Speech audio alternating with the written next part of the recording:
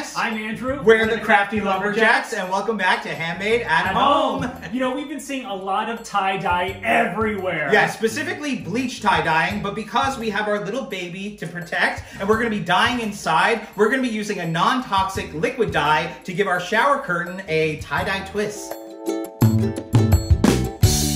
You know, tie-dyeing inside is actually a lot easier and less messy than you might think. We're praying to the tie dye gods because we only have one shower curtain, so we only got one shot at this. Yeah. And maybe once he'll get up, uh, we can start working. That might be our biggest challenge. Yes. So we'll see you tomorrow. Before you start, you really want to make sure that you have all your materials gathered, and you really actually don't need that many things. For this, you need a plastic tub, rubber gloves, your dye, a plastic tarp, rubber bands, Yep, and then also traditionally people use a baking rack, but we didn't have a baking rack, so we're using these disposable grill racks. Um, and because we're using the squirt bottle technique, you need a squirt bottle. You can purchase one at the dollar store or your local craft store, but we didn't want to go out, so you can use a sriracha bottle, mustard bottle, travel bottles, and today we're going to be using our dish soap bottle. Make it work, designers. make it work. All right, we finally got Teddy off the table. We're ready to get started. We're just gonna prep our surface and then uh, throw our shower curtain into a bin of water. Yeah, you always want to follow the directions on your dye, but it's always a good idea to pre-wash your material just to get any fixatives out. And you also want to work with a damp material. So ours is already washed and dried, so we're just going to dampen it by putting it into a little bit of water. There's a handful of different ways to create your pattern or your design. Today we're gonna be using the scrunch technique. The scrunch technique is super simple. We're just gonna lay out our fabric here and then start gathering and scrunching. Pull it in, scrunch, scrunch, scrunch until our entire material is all scrunched in and gathered. All right, and now we're going to start adding our rubber bands. And the rubber bands are just used to keep everything in place. We're also gonna work in a, uh, a pie or pizza uh, direction or shape. You want to make sure that you use enough rubber bands that you're able to lift the material without everything falling apart.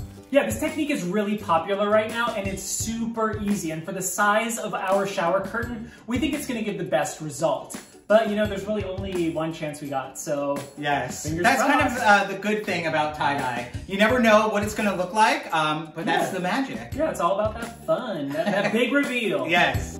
Now it's time for our dye. Our bottle recommends to use table salt and hot water. So we're just gonna use a funnel and put it right into our bottle. We're gonna put about a tablespoon of table salt. And now our dye. You wanna shake up your bottle. And the great thing is you really can decide how much dye you want. If you wanted a nice light color, put less dye. If you wanted a really rich, vibrant color, put more dye. We're gonna do about four tablespoons. And now our hot water. And now we just want to give it a good shake. All right, I'm gonna set my material right here on my grill pan here, and that's because we want this to be raised up a little bit so that there's no puddling of the dye that seeps into the back of our fabric, and we're just gonna start squirting our dye right onto our shower curtain there. You wanna leave some areas, do your best to leave some areas white. That will create a nice contrast. It can be tempting to go a little crazy and just kind of squirting everywhere, but you really want to leave white areas so that you have that nice contrast. All right, and now that we have this side done, we're gonna flip it over and do the back side. The same thing, leaving areas of white.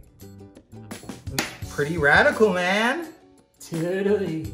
It looks great. Yes. You want to resist the urge to touch it. Do not touch it. I want to touch it. I I, know, the longer it. you let it sit, the more vibrant it will be, and also it will absorb more of that beautiful, beautiful, rich color. And while you let it sit, you really want to make sure that it stays moist. So we're just going to wrap it in saran wrap just so it doesn't dry out. And I guess we'll have to wait till tomorrow. Mm. That's the hardest part. Good morning. We left this overnight. Oh my gosh, I'm so excited to unwrap this. So to let the color set in, we're just going to add some water to some vinegar and pour it right over. Yes, and then we're gonna run it under cold water until it runs clear. It looks so good. Yeah, it We're really so does. excited. The color really stuck. We actually didn't see a lot of color wash away, and we think that might be because we let it set overnight. It really locked in that dye. Yes, but for our final step, we're gonna pop it in the laundry on a cold wash with an old towel. This way, if there's any more uh, dye or color that's um, seeping out of there, that towel will absorb the color, and then we're gonna put it in the dryer, and then we're ready to hang it. Yes.